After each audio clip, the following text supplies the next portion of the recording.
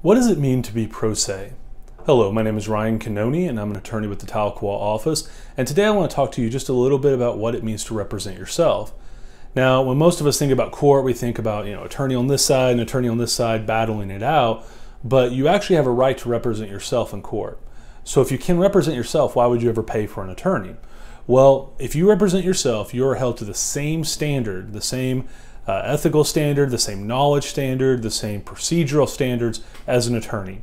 And but what I mean by that is, you know, as an attorney, I have three years of uh, law school. I had to pass an examination. I personally have seven years of experience uh, working with prosecution office, and now I work for uh, the defense side.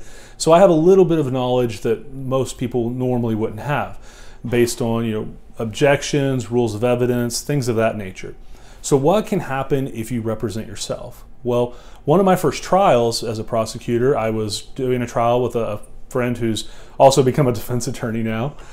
And we had a pro se uh, person. He got into a fight with his brother. It was a domestic assault and battery case, and he refused to get an attorney. He wanted to represent himself.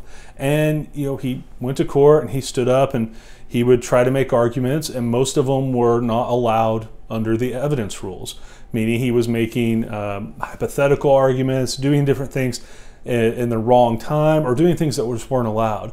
So we, you know, would object because that was our job, and so a lot of what he wanted to present didn't get out there. And in the end, the jury, even though he was a not a bad guy, he, he him and his brother got into a fight, and he of the two of them was actually a little more uh, easy to get along with. Uh, the jury ended up sentencing him to one month in county jail and a very large fine. I, I don't remember the exact amount, but I think it was either like 800 or, or $1,000. Uh, had he had an attorney, he probably wouldn't have even gone to trial. He probably would have got a plea offer or maybe even got the charges dismissed uh, with an attorney working for him that knew the system and knew uh, what was going to be evidence, what wasn't going to be evidence, what was relevant, what wasn't relevant.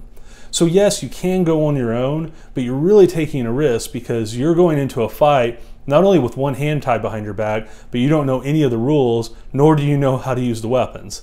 So, if you need an attorney and you're in a legal matter, if you're in a criminal matter, please give us a call. We can look over your case and try to help. Thank you.